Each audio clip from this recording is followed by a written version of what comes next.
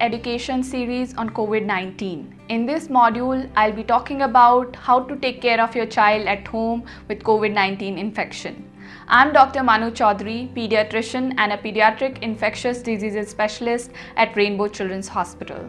So we know that one of the common symptom of COVID in children like any other infection, flu or any other viral infection is fever.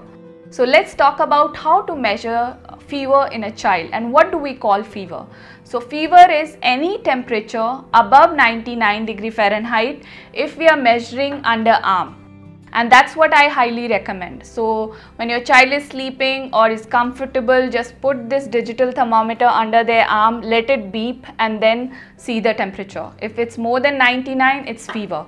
If you use the same thermometer for mouth any temperature above 100 Fahrenheit is considered as fever. Some people might have an ear thermometer uh, you might see it in uh, doctor's office as well in this, any temperature in the ear more than 100 is considered at, as fever. So if your child is having those temperatures, that's when we call it fever. Please do not add 1 to any of these readings. Keep a log of that temperature. The way we manage fever in children is by simple antipyretics. One of the common ones is paracetamol, uh, which comes with various brand names like Calpol, so your pediatrician will probably help you with which one to buy. There is uh, dosing according to the child's weight. So we have to ensure we are giving the appropriate dosing, not underdosing or overdosing. So again, check with your pediatrician what is the appropriate dose if your child has fever. It can be alternated with other fever medicine called ibugesic. I do not like, there are a lot of over-the-counter combination fever medications. Some of the cough syrups can also have fever medications. So please avoid combination medicines. So the second medicine I was talking about is called ibugesic. Again, it's weight based. Uh, the most important thing we have to remember is frequency between the two fever medicines. So when we are giving uh, paracetamol between the two doses, there should be at least 4 hours gap. Between two doses of ibugesic, there should be at least 6 hours gap. You can alternate these medicines and most of the time the fever is well controlled in children with the combination of these fever medicines. Second thing I wanted to show you guys about uh, how to measure pulse oximetry in children. Young children their fingers are very small so using a pulse ox for adults for the same age group is not great device. Let's talk about how to use it in little older children. So the most important thing is the child should be comfortably sitting on a table or a, on a chair, resting their hand on a table, put in the pulse ox and then let the pulse pick up.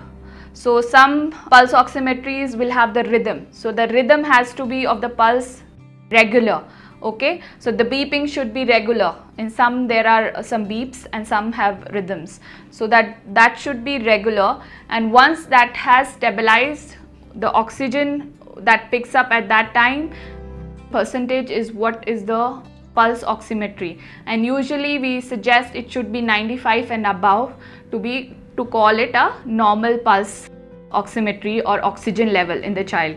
If your child is moving, this can go and give us RNS reading as low as 70s and we've seen a lot of our patients getting their children to the hospital emergency room at odd hours because pickup of the oxygen level was erroneous whereas the child is running around and completely fine. In younger children again it's little difficult to use this device.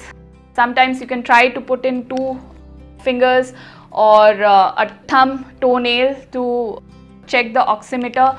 Otherwise, some of the simple things to pick up, how to realize the child is under stress or is breathing fast is looking at how the child is breathing. So if their nose is flaring up, if their chest is going in and out, that gives us indication that your child might have difficulty breathing and you need to bring the child to the hospital. So though that is the way to check for pulse oximetry. The third thing we have to take care of in children is uh, hydration. So make sure your uh, they might not enjoy eating regular food because just like adults they might also have pain in their throat or they have altered taste and smell. So make sure they're hydrated. So if they're continue breastfeeding, if they are enjoying just milk or liquids, just go with that. There are oral rehydration solutions, Tetra packs, juice packs which are available, which are tastier than what we used to use those sachets, ORS sachets. So go for those Tetra packs sip sips of these fluids to keep them hydrated. If they are making less than three diapers in 24 hours and less than one diaper in six hours, we know it's an indication that they probably might be dehydrated. And in that case, we might have to bring them to the hospital.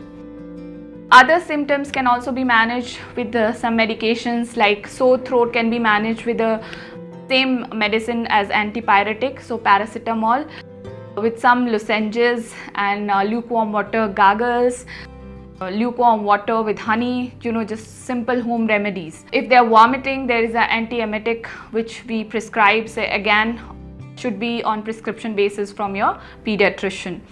A lot of questions about multivitamins. Overusing of multivitamins like vitamin C has led and we have seen it in our own practice uh, leading to kidney stones.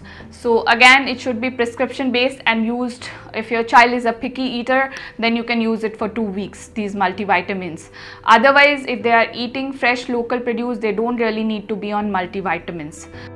We do not use steroids, antibiotics or any other medications apart from what I talked about for children with mild COVID all these other medications we prescribe only in a setting when they are hospitalized and that would be a decision of your physician. Some of the warning signs which I wanted to educate all parents about when to reach hospital are if your child is having fevers beyond 3 days, if your child is having fevers which you are not able to control with appropriate medication, dosing and frequency. If your child has developed vomiting uh, which is not controlled by medicine and uh, looks dehydrated, if they are not taking oral liquids as well, so they can be dehydrated and need to be hospitalized. If they are having fever uh, to the very high grade, you know, which we call above 103, 104, where they can have some fits related to the high grade fevers.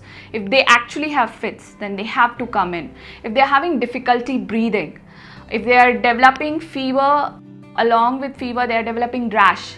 So they might be developing some more serious form of COVID and they have to be brought to the hospital a lot of people have used uh, you know daily steam uh, daily measuring temperatures uh, daily betadine gargles all of these are not required. Let your pediatrician tell you when particular intervention needs to be done. Stay home stay healthy